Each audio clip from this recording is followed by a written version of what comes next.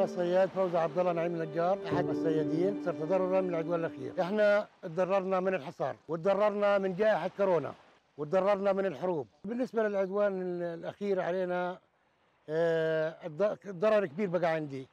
في عندي الجير تاع الماكينة المحرك يعني بطل يمشي معاي. ال- عندي الشبك كله تلف لأنه كل غزلنا في بقى في الشمس. وجت خبطه كمان للجير يعني هاوية للجير من من- القصف بتاع قوة الاحتلال. إيه، إحنا ما بنقدرش كمان في الحرب نصل لمالنا كليته طبعا شبكنا ومكانتنا وعزقتنا وهذا كان ضرر كبير لنا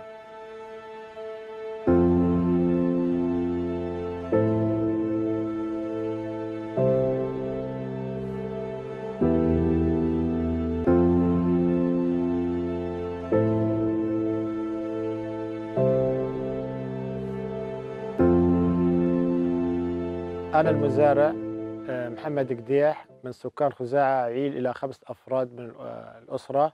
آه، من العدوان الأخير تعرضت إلى ضرر في الدفيئة الزراعية من نيلون ومزاريب وخشب مزاريب وريشة وخطوط ناقلة نتيجة قصف بجانب الدفيئة.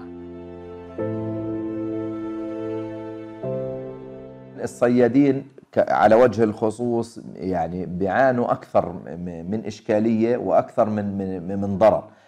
آه، ناتج عن الحصار وإغلاق البحر في وجههم. آه، تاني شغل الانتهاكات والاعتداءات الإسرائيلية المستمرة بحقهم في عرض البحر وحرمانهم من ممارسة مهنة الصيد بشكل حر وآمن.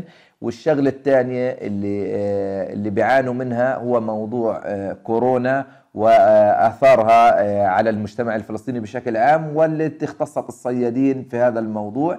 وكمان موضوع ال- الحصار لا زال بيطبق وبيأثر على موضوع الصيادين حيث أنه أدوات الصيادين المستخدمة والقوارب الخاصة فيهم تحتاج إلى عمليات صيانة ومواد يمنع الاحتلال من دخولها وهي تسمى مواد ثنائية الاستخدام.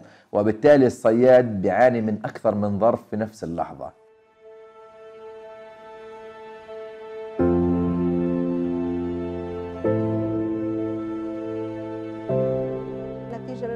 للعدوان الذي تعرضت له الأراضي الزراعية بشكل ممنهج خلال مايو 2021 والذي تسبب أولا بأضرار مباشرة وهي عدم قدرة المزارعين على الوصول إلى أراضيهم الزراعية عدم قدرة المزارعين للاعتناء بمحاصيلهم مما ساهم في تدهور الوضع الاقتصادي للمزارع الذي هو بالأساس متدهور نتيجة للكثير من الأزمات التي مر بها القطاع الزراعي. أولا الحصار المفروض على قطاع غزة منذ 2006 ثانيا أزمة كورونا وانتهاء بالعدوان إيه، مايو 2021 وحاليا التغير المناخ الذي يؤثر على كل مناحي الحياة وتخصيصا القطاع الزراعي.